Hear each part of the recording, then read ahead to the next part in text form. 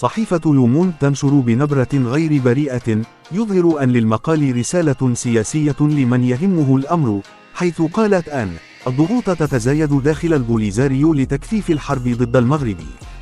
نشرت صحيفة لوموند الفرنسية إنه بعد عامين من انتهاء وقف إطلاق النار مع الرباط أعيد انتخاب إبراهيم غالي على رأس جبهة البوليزاريو خلال مؤتمرها السادس عشر الذي عقد في جنوب الجزائر.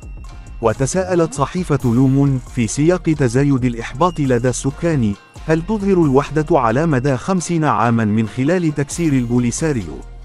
معتبرة أن شعار المؤتمر تكثيف الحرب يدل عن نفاذ صبر الصحراويين لإعطاء زخم جديد للصراع المستمر منذ 47 عاما واتخذ على مدار عامين شكلا منخفض الحدة أي حرب العصابات التي تجاهلها المغرب والتي لم ير منها الصحراويون أي ثمار.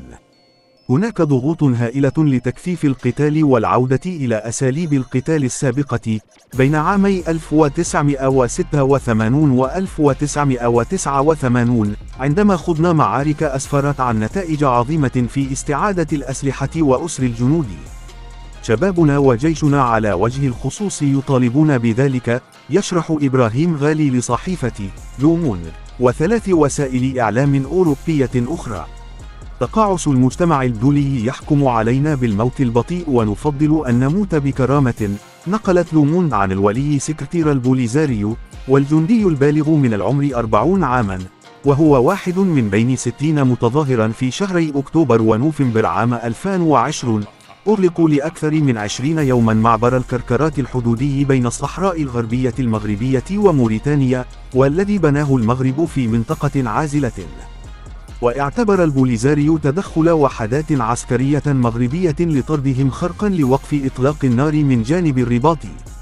ويوضح الولي كان هذا هدفنا والآن لن نرتكب نفس الخطأ الذي حدث في عام 1991 إذا أراد المغرب التفاوض فسنمسك بقلم في يد وبمسدس في اليد الأخرى.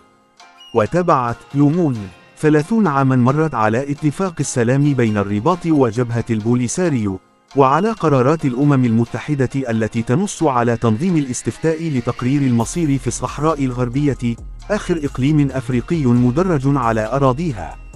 ومرت عشرون عاما على آخر محاولة جادة من قبل الأمم المتحدة لحل النزاع من خلال خطة بيكر اثنان عام 2003 التي رفضها المغرب. وخمسة عشر عاما على اقتراح الرباط في عام 2007 الحكم الذاتي تحت السيادة المغربية وهو أمر غير مقبول بالنسبة لجبهة البوليساريو. في غضون ذلك هاجر العديد من الشباب. ويرى أولئك الذين بقوا في مخيمات تندوف أن استئناف القتال هو الأمل الأخير لإنهاء نزوح جماعي استمر 47 عاما. تنقل لومون عن خليلنا محمد 34 عاما مدير الشباب في وزارة التربية الصحراوية قوله. البوليساريو تحولت إلى دولة في المنفى ونحن حركة تحرر وطني. في غضون ذلك فإن المغرب في وضع مريح. إنه يحتل أراضينا ويصدر مواردنا الطبيعية ويستغل احتياطياتنا من الفوسفات ويدعو الشركات إلى الاستقرار في الصحراء الغربية. لا يمكننا التخلي عن ورقتنا الرابحة وهي الكفاح المسلح. الانتظار يقتل أرواحنا ويقتل تطلعاتنا بحسب تعبيره. ويضيف لا يجب علينا مهاجمة الجدار فحسب بل يجب مهاجمة البنية التحتية الاقتصادية للمغرب لمنعه من الاستفادة من مواردنا. يجب أن يشارك الصحراويون في الأراضي المحتلة في هذا الصراع. قد نحتاج إلى التفكير في الاعتماد على الانتحاريين. وقال مدير الشباب وهو خريج قسم اللغة الإنجليزية من جامعة الجزائر يجب أن نستخدم جميع أوراقنا. أكثر من ثلث سكان المخيم هم من الأطفال تقل أعمارهم عن 17 عاما ونصفهم من النساء.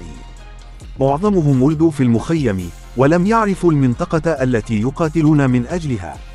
لكن شعور الانتماء والحب لأرضنا ينتقل من جيل إلى جيل من خلال قصص أجدادنا ونتعلم بحزن ما فعله المغرب من تعذيب وابتزاز لإخواننا في الأراضي المحتلة يوضح مولاي بشير 35 عاما محامل مسؤول صحراوي.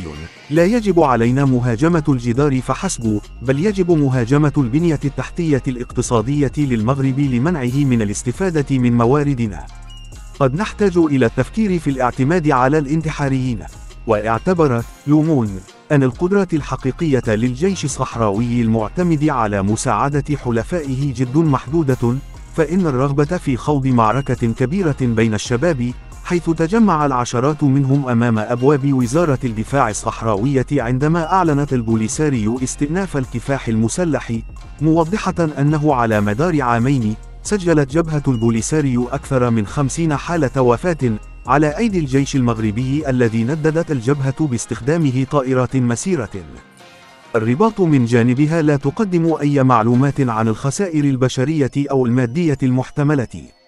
الصحيفة الفرنسية أشارت إلى أن هناك دبلوماسيين صحراويين لديهم خطاب أكثر اعتدالا مثل عبد الله عربي خريج العلاقات الدولية من كوبا ومندوب البوليساريو في إسبانيا والذي يصر على أن الحصول على